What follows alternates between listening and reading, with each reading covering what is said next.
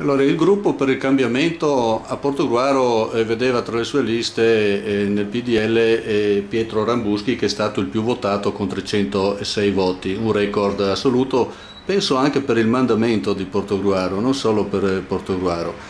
E su questo eh, voi avete fatto eh, un vanto o lo, come, o lo davate come per scontato? No, assolutamente, in politica non si dà niente per scontato è stato un risultato guadagnato nel campo, nel territorio. Piero Rambuschi ha dimostrato di essere ben radicato nel territorio e la cosa importante è che ha preso per ben due volte oltre 300 voti, sia nella scorsa tornata elettorale che in questa. Eh, scusi se, se la sì, eh, correggo, eh, 200, sì, sì, no, ma eh. giusto per chi ci ascolta, 295 l'altra volta, 306, esatto, beh, perciò arrotondiamo. No, ma questo mi serve per un aggancio, cioè 11 eh, voti in più, mentre eh, colui che ha lanciato, lanciato il guanto di sfida che è Riccardo Rodriguez ne ha avuti 18 in meno, perciò è stata vinta nettamente la sfida da eh, Rambuschi rispetto a Rodriguez che comunque ha fatto un buon risultato ed è riuscito a entrare in consiglio comunale, perciò anche a lui un bravo. E, tornando invece a quello che sono eh, i, Scusi, i, i pro... se, se, preciso, 18 in meno dell'altra volta, sì, non 18 sì, in meno i, di Rambuschi, più di 100 voti in meno di Rambuschi. Eh, in meno, in c'è meno. una distanza abissale. Eh, sì, eh, è notevole la distanza.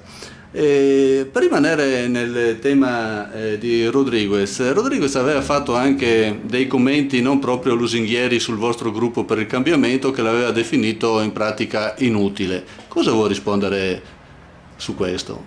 Beh, che l'utilità del gruppo del cambiamento si è dimostrata sul campo, con i voti che ha raccolto, perché oltre a Piero Rambuschi come altro candidato avevamo Passeri che anche lui non è stato eletto ma per poco, quindi ha, il gruppo del cambiamento ha raccolto molti voti.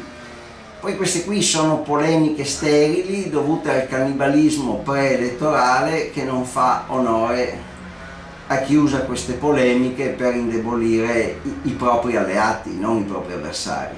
Gruppo per il cambiamento, quali sono eh, i passi eh, che, che, avete in mente adesso successivi alle elezioni? Cosa avete eh, in progetto?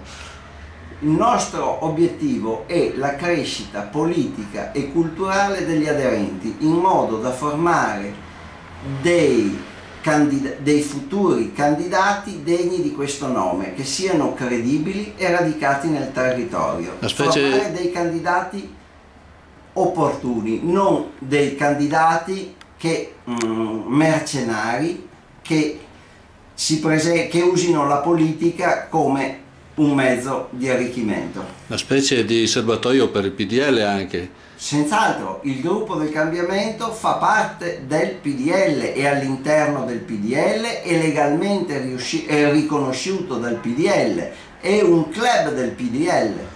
Eh, allora mi scusi, ma Club della Libertà eh, non è un po' analogo a, a quello che volete far, noi, visto, eh, far voi, visto che ha usato la parola club, quello di Silvestrini, presidente, per capirci. Ma noi ci auguriamo che di questi club ce ne siano moltissimi, non uno, che i vari candidati coagulino intorno a sé il maggior numero di partecipanti, di aderenti, che vogliono lavorare per la politica localmente. Noi caldeggiamo la nascita di questi club, non vogliamo l'esclusiva.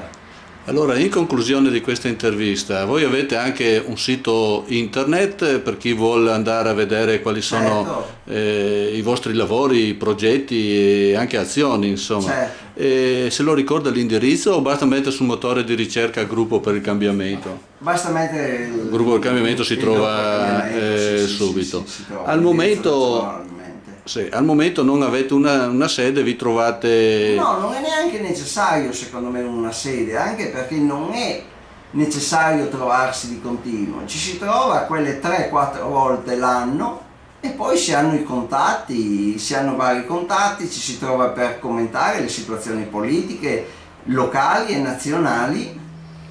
Eh, lei prima aveva detto che è da anni che c'è il gruppo per cambiamento e io eh, so che voi siete da, nati qua a Portogallo da poco più di due mesi. Ma quella è la nascita diciamo formale, ma in realtà è nato ancora nel 2005.